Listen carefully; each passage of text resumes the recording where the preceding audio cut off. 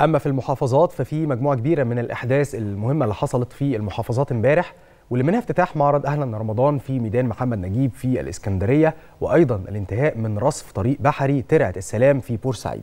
كمان في الفيوم تم إطلاق مبادرة لدعم زواج الفتيات اليتيمات بقرى المحافظة وتسليم 62 مشروع تنموي من المشروعات الصغيرة في الدقهلية وأخبار تانية كتير هنعرفها مع حضراتكم في سياق هذا التقرير.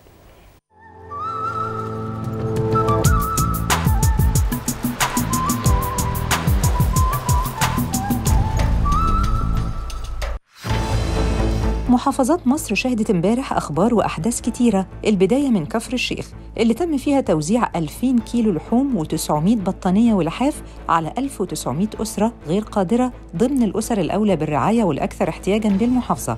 وده تماشياً مع جهود التحالف الوطني للعمل الأهلي التنموي. في الإسكندرية تم افتتاح معرض أهلا رمضان في ميدان محمد نجيب بسيدي بشر وبيضم جميع السلع الغذائية والاستهلاكية المختلفة وبيشارك في المعرض 56 عارض لتوفير أكبر كم من السلع بتخفيضات كبيرة. في الدقهلية تم تسليم 62 مشروع تنموي من المشروعات الصغيرة بقيمة 20 ألف جنيه لكل مشروع وده ضمن مشروعات التمكين الاقتصادي تحت مظلة التحالف الوطني للعمل الأهلي التنموي. في بورسعيد تم الانتهاء من أعمال رصف وتطوير وتخطيط طريق بحري ترعة السلام بداية من محور 30 يونيو وحتى الوصول لمستشفى 30 يونيو بطول 2.5 كيلو متر بنطاق حي جنوب بورسعيد.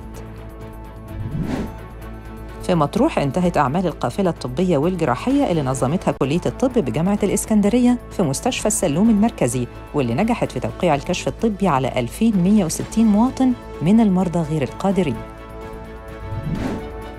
فأسيوط تم الدفع بعدد من المنافذ المتنقلة بشوارع وميادين المحافظة وده من خلال سيارات محملة بالسلع الغذائية والخضر والفاكهة واللحوم والدواجن وبيض الماء. من إنتاج المشروعات التعاونية الإنتاجية التابعة للإصلاح الزراعي. في الوادي الجديد أعلنت إدارة التنمية الشبابية بأندية الفتاة والمرأة بمديرية الشباب والرياضة استكمال تنفيذ الملتقى الحرفي بمركز شباب غرب الموهوب بقطاع الدخلة للتدريب على حرفة الزي الواحاتي بمشاركة عدد من عضوات أندية الفتاة والمرأة. في الفيوم تم إطلاق مبادرة جديدة تحت عنوان كفالة زواج يتيمات بالتعاون مع الجمعيات الأهلية الصغيرة المنتشرة في أنحاء المحافظة وده لاستهداف دعم مئات الآلاف من زواج الفتيات اليتيمات بالقرى من خلال تسليمهم مبالغ مادية وهدايا عينية واستكمال ما ينقصهم لبناء منزل الزوجية.